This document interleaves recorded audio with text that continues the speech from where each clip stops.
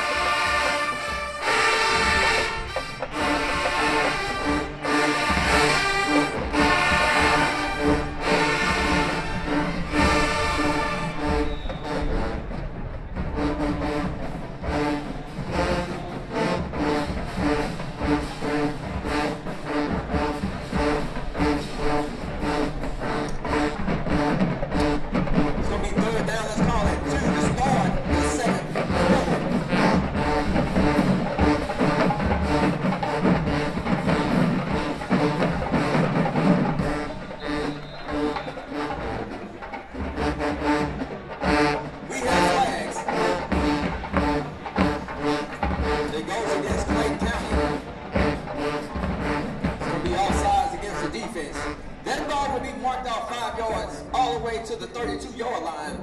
It's gonna give Muscogee County a first and 10